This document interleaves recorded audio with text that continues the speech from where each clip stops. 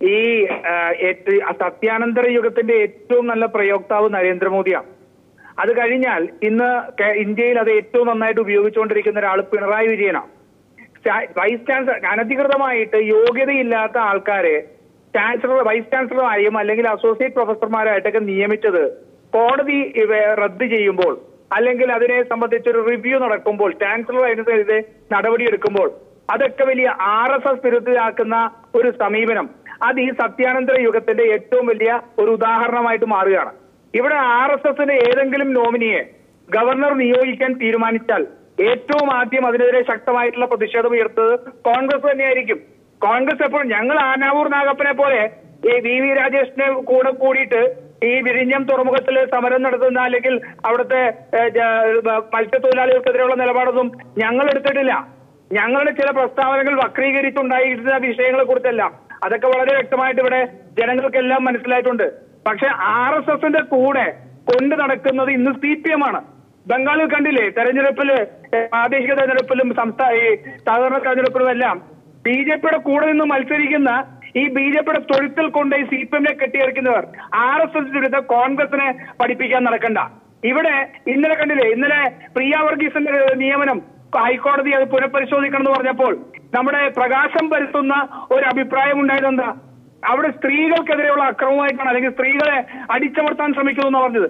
ഒരു ഒരു ഒരു നിമിഷം ഒരു നിമിഷം രാജു പി നായർ ഞാൻ അങ്ങയിലേക്ക് വരാം. ആർ സി ബിനയ്ക്ക് അങ്ങ് പറഞ്ഞതിൽ എന്തോ മറുപടി പറയാനുണ്ട്. ബീന പറയാം. ആർ എസ് എസ് നിലപാട് ആർ എസ് എസ് നിലപാടിലുള്ള ഒരാളെ പോലും നമ്മുടെ ഗവർണർ നിലവിൽ നിയമിച്ചിട്ടില്ല. രണ്ടാമത്തെ ഒരു കാര്യം വിഴിഞ്ഞം തുറമുഖത്തിന് അനാവൂർ നാഗപുരത്തിനുള്ള വേദി പങ്കിട്ടു എന്നുള്ളത് അത് ജന കേരളത്തിലെ ജനങ്ങൾക്ക് മൊത്തം വികസനം വരുന്ന കാര്യത്തിനാണ് ഒരു വേദിയിൽ അവരെത്തിയത്. അവിടെ പൈസ വെളിയിൽ നിന്നുള്ള കാശ് ആരാണ് കൊണ്ടുവന്ന അവിടെ മൊത്തം ഈ പ്രശ്നങ്ങൾ ഇത്രയും വിഴിഞ്ഞം തുറമുഖത്തിനെതിരെ ഇത്രയും വിഷയങ്ങൾ ഉണ്ടാക്കുന്നതെന്ന് വ്യക്തമായി നാട്ടുകാർക്ക് അറിയാവുന്ന കാര്യമാണ്. ആരാണ് അവർക്ക് സപ്പോർട്ട് കൊടുക്കുന്നതെന്നും ജനങ്ങൾക്ക് എല്ലാവർക്കും അറിയാം. ശരി R C Bina Raju P Nair തുടരാം.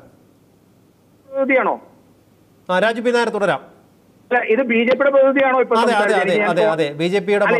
ഇതാണ് ഞാൻ പറഞ്ഞത്. ഞാൻ സി പി എമ്മിനെ കുറ്റം പറയുമ്പോൾ ബി ജെ പി എന്തിനാ പ്രതിരോധത്തിലാവുന്നതെന്ന് എനിക്ക് മനസ്സിലാവുന്നില്ല. ഞാൻ സി പി എമ്മിന്റെ അത് പറയണ്ട. അല്ല സാർ നേ- മാഡം ബീന നിങ്ങൾ അങ്ങോട്ടും ഇങ്ങോട്ടും ആരോപണം ഉന്നയിക്കുമ്പോൾ നോക്കൂ സുധാകരൻ ആർ എസ് എസിന് അനുകൂലമായി പറയുന്നു എന്ന് പറയുമ്പോൾ തിരിച്ച് ഒരേ രീതിയിൽ നിങ്ങൾ പങ്കെടുത്ത പങ്കെടുത്ത ഒരു പരിപാടിയിൽ പങ്കെടുത്ത കാര്യം മറുപക്ഷത്ത് നിന്ന് കോൺഗ്രസിനെ ആരോപിക്കുന്നതിൽ തെറ്റില്ലല്ലോ? നിഷേധിക്കാനും കഴിയില്ലല്ലോ? അതിന്റെ സംഘാടകർ വിളിക്കുന്ന പരിപാടികൾ രണ്ട് പാർട്ടിയുടെ പ്രതിനിധികൾ പങ്കെടുക്കുമോ ഇത് ആദ്യത്തെ കാര്യമല്ല. സംഘാടകർ അതൊരു പരിപാടി അതൊരു പ്രതിഷേധ പരിപാടിയാണ്. ഒരു ഒരേ വേദിയിൽ വന്ന് ഒരേ വേദിയിൽ വന്ന് പ്രതിഷേധിക്കുന്നു. പരിപാടി വികസന ആൾക്കാർക്കെതിരെയായിരുന്നു. ശരി രാജു പി പറയൂ. ഈ ഇപ്പൊ ഈ നടന്ന ചർച്ച ആണ് കേരളത്തിലെ രാഷ്ട്രീയ ചർച്ചകളുടെ ഉദാഹരണം.